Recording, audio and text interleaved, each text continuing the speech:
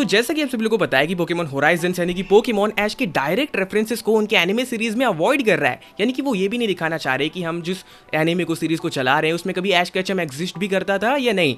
खैर, ये तो अनफेयर है बट बताना चाहिए। लेकिन उसके पीछे भी रीजंस है बट अब मेरे को लगता है, जहाँ तक मुझे लगता है, जहाँ तक सब फैंस को लगता है बट मे बी वो टाइम आ चुका है कि पोकेमोन की ओरिजिनल किंग यानी कि legend the original protagonist Ash Ketchum को उसका कम करना चाहिए। और वो कैसे? चलिए देखते हैं।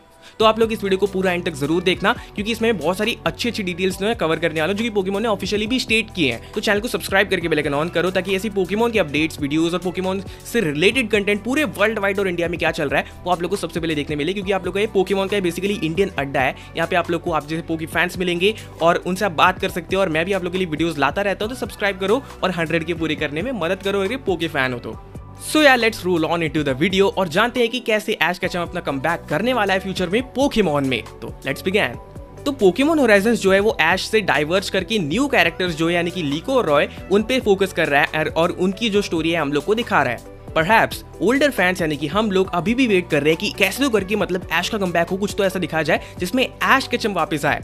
तो पोटेंशियल वेज जो है, जो कि मतलब ज़्यादा हाई चांसेस बना रहे हैं ऐश के रिटर्न करने पे, वो है स्पेशल एपिसोड्स न्यू मूवीज़ और मर्चेंडाइज अपियरेंसेज जिससे ऐश केचम का रिटर्न हम लोग को देखने मिल सकता है। एपिसोड्स पे भी आऊँगा बट ये जो है ना पोटेंशियल वेज है, यानी कि इन पे सबसे ज़्यादा चांसेस बन रहे हैं। तो जैसे कि आप लोग को पता है पोकेमोन होराइजन को लगभग एक साल हो गया है और एक साल से हम लोग को ऐश का हिंट तक देखने नहीं मिला है। काफ़ी सूखा पड़ा है यार पोकेमोन कम्युनिटी में सब कुछ, और ऐश ही नहीं है मतलब क्या ही चल रहा है। अब देखो 26 ईयर की जो लेगेसी है, वो एक कैरेक्टर और मतलब एश कैचम जो है अपने कंधों पर लेके चल रहा था और अचानक से जो है नए कैरेक्टर पे बहुत ज़्यादा प्रेशर आ जाता है पोकेमोन पे भी कि नए कैरेक्टर्स उस रिस्पॉन्सिबिलिटी उस लेगेसी को बेयर कर पाएँगे भी या नहीं। बट कैसे तो करके उन्होंने कर लिया, थोड़ा बहुत संभाल लिया। बट जो ओरिजिनल फैंस है पोकेमोन की, जो एकदम पुराने वाले फैंस है एकदम ट्रू फैंस है मतलब ट्रू फैंस तो नहीं बोलूँगा मतलब पोकेमोन फैंस जितने भी पोकेमोन फैंस हैं, लगभग उनमें से मोस्ट ऑफ़ तो ऐश कैचम के रिटर्न का ही वेट कर रहे हैं। और वो लोग ये पूछ रहे हैं कि वेन विल ऐश रिटर्न काफ़ी लोग ये भी होप कर रहे हैं कि पोकेमोन होराइजन में ही ऐश का रिटर्न हो जाए कैसे तो करके एंड उस पर भी मैं बात करूँगा। और जैसे ही ऐश वापस आता है तो हम लोग को ये रिवील कर सकता है कि उसने क्या क्या इंप्रूवमेंट की। इतने टाइम से वो बिज़ी था स्क्रीन ऑफ़ था मतलब मतलब सबसे छुपा हुआ था, अलग था। तो उसने क्या क्या इंप्रूवमेंट्स किए कौन कौन से नए मूव्स और एबिलिटीज और क्या क्या ट्रेनर में मतलब चेंजेस किए अपनी ट्रेनिंग में एंड सब कुछ हम लोग को, वो सब पता तो चलेगा। ये तो डेफिनेटली सी बात है, जब ऐश रिटर्न करेगा।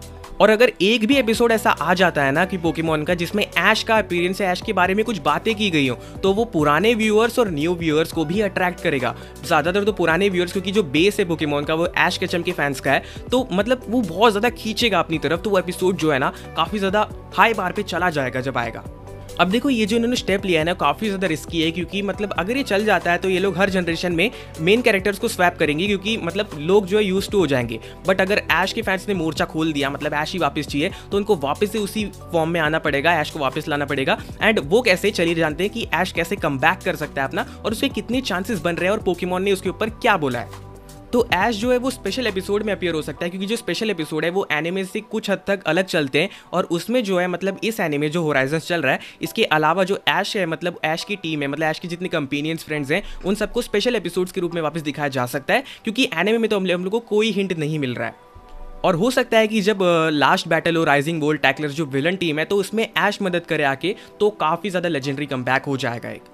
अब दूसरी जो पॉसिबिलिटी है, वो काफ़ी ज़्यादा है कि Ash could return in a new Pokemon movie तो जैसे कि आप लोगों को पता है 2020 के बाद कोई ओरिजिनल पोकीमोन मूवी की इंस्टॉलमेंट नहीं आई है कि सीक्रेट्स ऑफ़ द जंगल आई थी, जो आई चूजी वाले टाइमलाइन को फॉलो करती है, एक अलग यूनिवर्स के ऐश को फॉलो करती है तो उसके, वो है ना, उसका कोई लिंक होराइजन से नहीं है। तो उसके आगे सीरीज़ आने वाली है, वो तो कंटिन्यू होगी मूवीज़ तो एक बात कंफर्म है कि वो वाला ऐश हम लोग को स्क्रीन पे देखने मिलेगा, क्योंकि जिसमें सीक्रेट्स ऑफ़ द जंगल वाला ऐश है, वो एक अलग ऐश है, लेकिन है ऐश ही तो वो हम लोग को स्क्रीन पे दिखेगा उसकी मूवीज़ में, क्योंकि उसकी मूवीज़ की टाइमलाइन अलग चलती है तो उसका मूवी वाला सिनेरियो अलग है तो वहाँ पे हम लोग को आज देखने मिल जाएगा। पहली बात ये है। तो ऐसा कुछ हम लोग को देखने मिल सकता है कि जो राइजिंग वोल्ड टैकलर्स है, उनसे लड़ने ऐश आ जाए एनिमे की अगर बात करें तो।